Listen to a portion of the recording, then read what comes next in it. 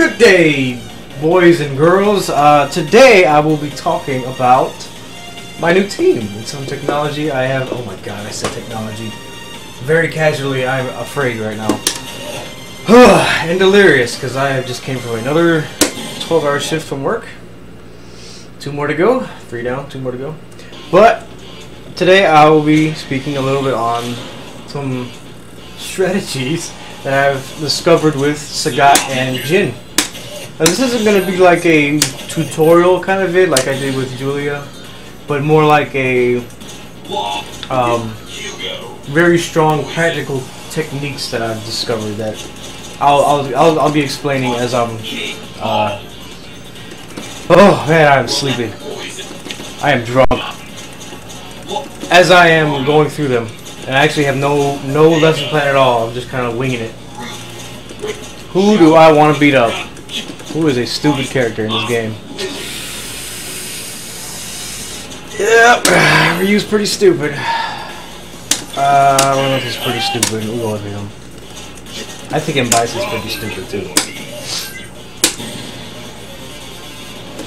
But I do enjoy this game. Pretty good. And I think people, as the game develops and turns into what it should look like, people will see that it, see it for a really uh, intensive decision making, like really pressing decisions that you have to make during the game. But um, for starters, and one of the reasons I started, I picked up Sagat was a friend of mine. Uh, he was having some difficulty, so I was just kind of seeing what he could and could not do. Um, one thing I uh, just like Street Fighter 4 Sagat, you kind of have to make some kind of like a baseline. This is what I'm gonna do with him: throw fireballs, tiger uppercut, yada yada. But given that, you wanna you wanna also play to the system of the game, and this game meter is, a, is is much more important than it was in Street Fighter 4. I mean, it was it was pretty important. Like if you had two bars and you're playing Street Fighter 4, and Sagat two bars, have an Ultra, you know where this is going. But in this game, you earn that meter through um, you know getting hit, hitting them, whiffing normals, throwing fireballs. That all builds a meter, which in turn helps you develop your allows you to execute your game plan that you that you have available. Which is, you know, tiger uppercut, uh, tag tag your partner in. If it hits, you get a combo. If it doesn't, then you can safely tag out Sagat, and if you need to, then yada yada. And and you would want to do that for for a couple reasons. You would want to do that to, to recover Sagat's life, and you'd also want to, you know, bring in Jin or your partner, and uh, words I, I had it just now. Uh, you want to do damage. No, that's not what I want to say. You wanted to make a sound decision because you, you, ideally you want it to hit. So you want to do it at a time where you think you do, you don't just want to do it because one it'll be obvious and the other person. I mean, this game hasn't developed extremely to the point yet, but to the point where people can maximum maximally punish you for DP. So you have to do it intelligently. That's what that's that's most important. But back to building meter. Uh, Sagat, you whiff roundhouse, builds meter, and that's that to me means a, a whole lot. That is a big deal. I mean, obviously you're not going to win a match by doing this because you're not hitting them. But what it lets you, what it allows you to do is sort of set a pace, set a visual cue for your opponent, and it, it, it, allows like me as a player to like really have fun with Sagat as a zoning character because I can I can just constantly hit buttons. Like just look at my meter go when I'm doing something simple as just throwing fireball. And see the, the meter goes up when I throw a fireball and it goes up when I hit him. So when I throw a fireball, whiff a roundhouse, well not whiff it but uh fake roundhouse, I get meter three times and that's not something that I, I, I, have to commit to doing. I can just do this, whiff a roundhouse, and then just dash up and see if he jumps at me or...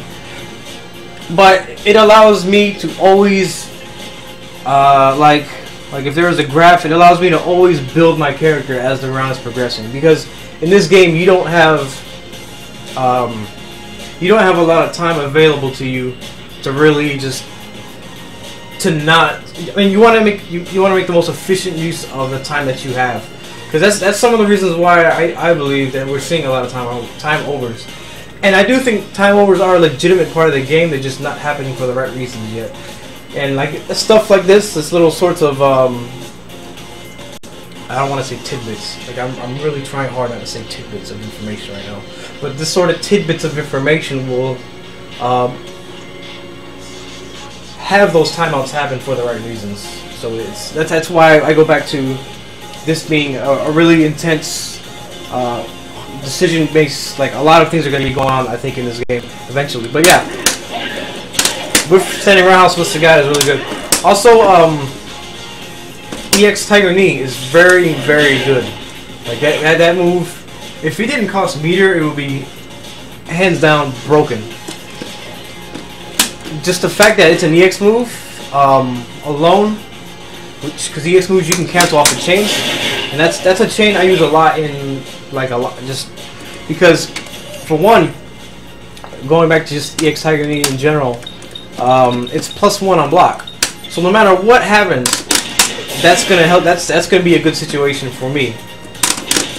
I can just I can just do that. I, I can just if this stand is short hits, then I can just go ahead and do it when I have meter. Because one thing it, it pushes you to the uh, it pushes you like further away. So if I'm in the corner or if I want you to the corner, it's gonna do that no matter what, unless they alpha counter you. And that's pretty. Like if you want to alpha counter that, sure, but the point is that if it hits you, it does a lot. You get a lot from it as well because. Uh,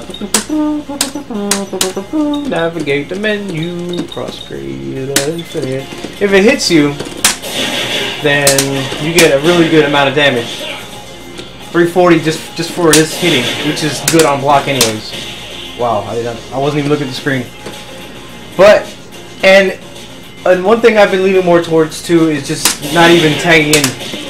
I just let it rock, and that depends on how much recoverable life I have. Like maybe it depends on how much of a lead I have. I might just want to sit on the meter I have and not go into Jin because I'm comfortable with the time that I have to to sort of just play out the match with Sagat because I'm comfortable with just playing Sagat on point and just um, the damage that it does is good. It's, it's fine with me. Like the, wow, I am going way too deep into that. Um, what else? His um stand short is really good. Uh, the chains such as this are really good to hit confirm into. I would recommend always doing low strong but low strong is not safe. Fun fact: if you do this chain, it's not safe. I know for sure you can punish it with like a three frame normal, maybe even a four frame, but I know for sure a three frame. So if that's blocked, not good. Ideally, and to be quite honest, I haven't even played this team offline yet, so it's it's kind of it's kind of a generic way of hit confirming because obviously if you're playing online, you, you don't have as much time because it, lags. Like oh, it's always gonna lag no matter what. So I think ideally I would want to hit confirm just off a standing short because it it's twice, but it just gives me much more time if I'm going into a low strong. But uh, again, going back to the EX Tiger I can just do this regardless. I don't necessarily have to commit to it. Ideally, I do want to, but like I can just do it. Yeah. Um. Let's see. I've, uh, Toward Roundhouse is still really good. It whiffs on crouching opponents. Um, it's even on block, zero. And it, it's it's just as good as it was in Street Fighter 4. And honestly, I think it's, it's hmm. I, I do hesitate to say better, but it's still really good for the stupid amounts of damage it does if it hits them in the air. And also, counter hitting um, or trade DP is, is ugh, it's disgusting in this game. And admittingly, it was kind of frustrating to like get used to the timing of anti-airing in this for Sagat in this game because I, I, would just straight up not even trade it. I would do it. I would do a DP motion and then lose, and I'll be like, "Are you serious? This is Sagat." but I I think there's just a timing to it. It's different and it's meant to trade, so it does lots of damage, and it's just a matter of getting used to the time. What was I doing? I completely forgot. Whatever. Jin! Now this is one thing that I don't think I've seen anybody do yet with Jin, and that is incorporate this in combos for two separate reasons. One, because it builds meter, and the other is for the end of this combo that I'm hopefully about to do is it adjusts the juggle uh, height, not the height, but it allows you to hit. I forget what it's called. It allows you to hit that so all of them hit, so that they can fall and that you're actually hitting them with all of the all, all the punches.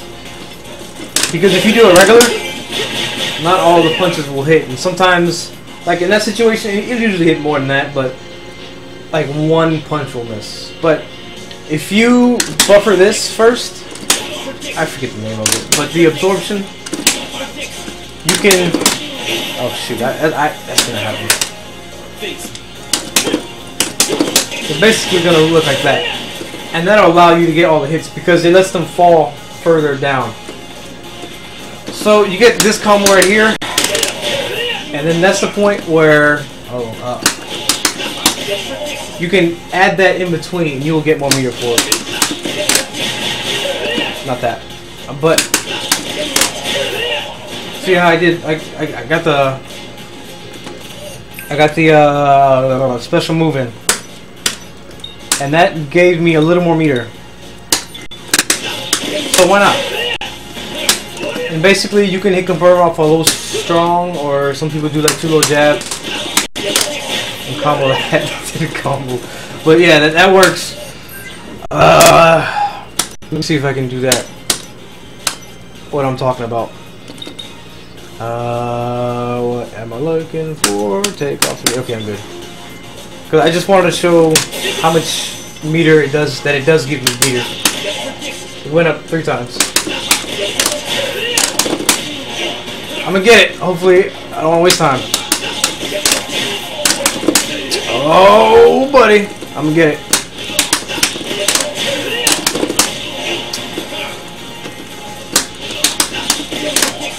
Uh-oh, waste time. What a top player.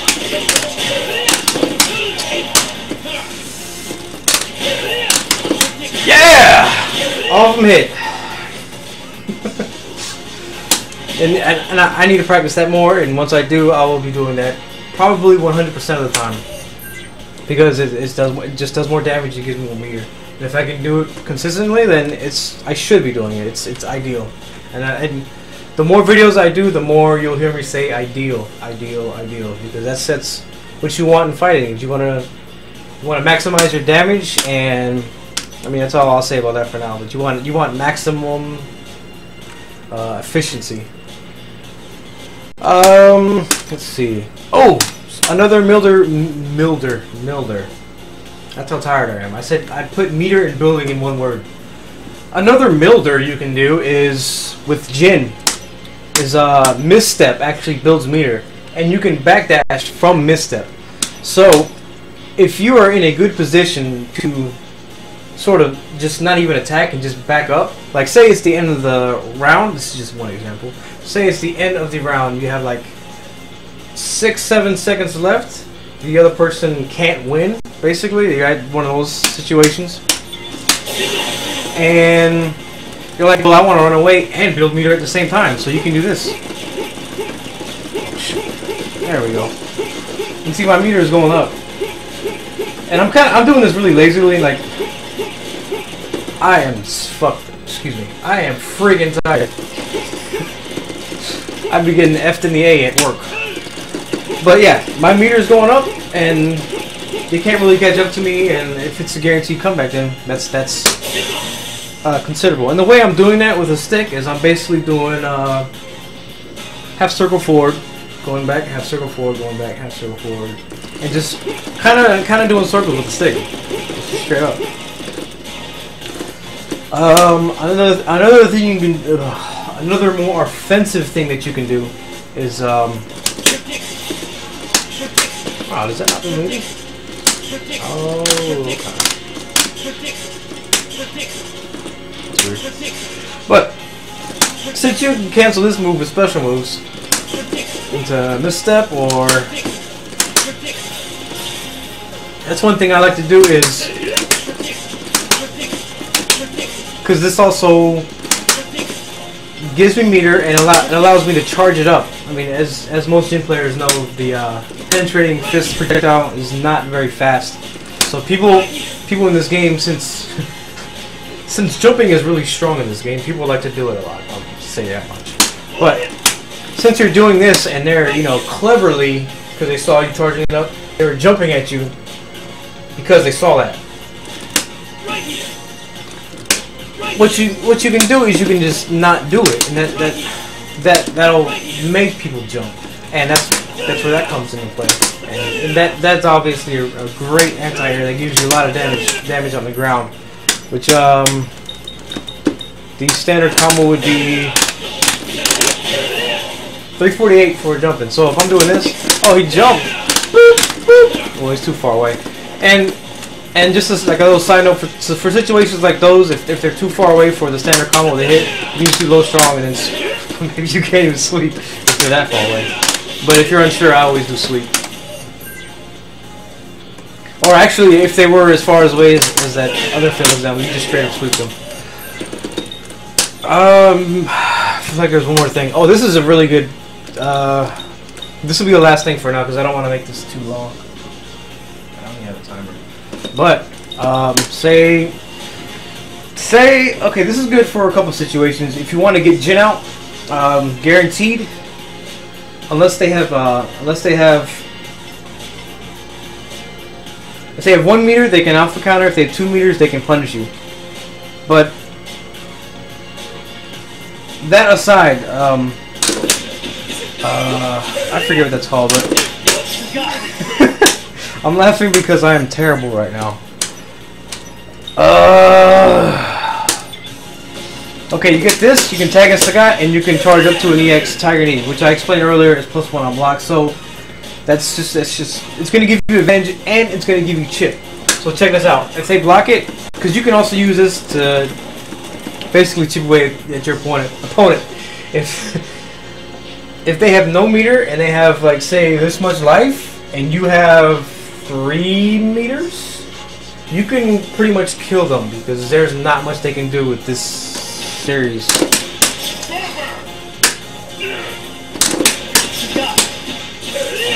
And you can DP and do it again.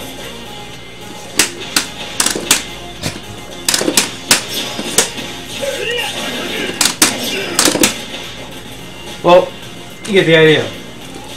And um, if it hits, if it does hit them, and this is actually one of the most damaging combos I've found using this, but if it does hit them, what am I doing? None. If it does hit them, then you can go into forward roundhouse. And I, I I, I whiffed a uh, standing roundhouse before I do that, because it gives me the timing for the standing roundhouse, and it also builds a little bit of meter. And this concludes my uh, another segment of tired and worn out me.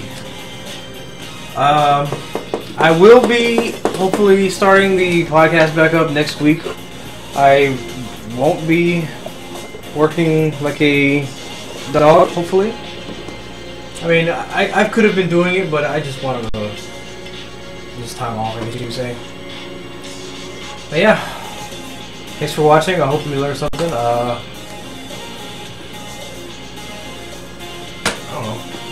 Later.